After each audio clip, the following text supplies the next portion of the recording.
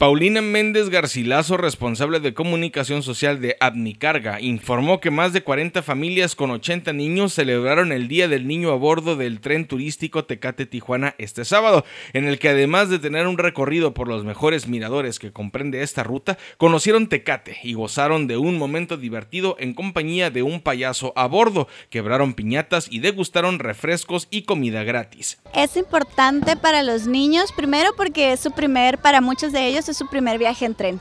Segundo, están conociendo Tecate a bordo de un tren turístico que no es cotidiano. Y celebramos a bordo con un show del payaso Chimino. Eh, Chimino hizo algunos concursos para dar cortesías del tren turístico de baile, regaló globos y estuvo animando a nuestros niños. ¿Cuántas familias participan? Alrededor de 40 familias tuve un estimado de 80 eh, niños participando y también bastantes adultos mayores. Ya en Tecate los visitantes pudieron disfrutar de una bienvenida por parte de la comunidad Kumiai, quienes recibieron a los pequeños turistas con una ceremonia como muestra de sus costumbres. Asimismo, los pasajeros contaron con cuatro horas para recorrer de manera personal el pueblo mágico o bien a través de tour operadores. Eh, una actividad que siempre tenemos a bordo del tren es la bienvenida de la comunidad Kumiai, a la cual también quiero agradecerles por preservar su cultura y por mostrarnos también sus rituales. Ellos dan la bienvenida con un ritual de purificación con salvia y les comentan y les hacen cantos en su lenguaje, les comentan qué significa.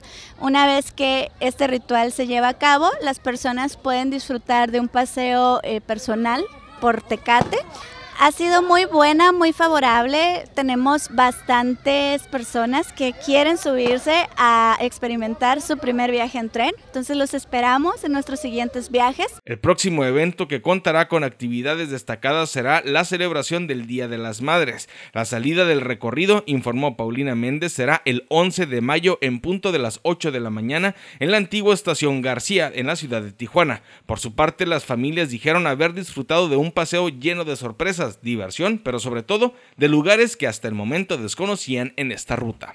para usted venir a celebrar el Día del Niño aquí con sus hijos?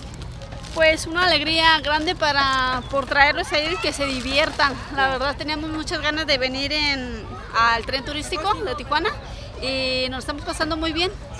¿Volvería a subirse? Sí, la verdad sí. No, pues yo creo que es una gran experiencia, eh, aparte para los niños, para que aprendan. Eh, otro medio de transporte que existía antes y que no se vaya perdiendo eso. yo creo que vale la pena vivirlo, vale la pena como una enseñanza para los más pequeños y sobre todo pues seguir festejando a los niños con esta y grandes sorpresas, ¿no?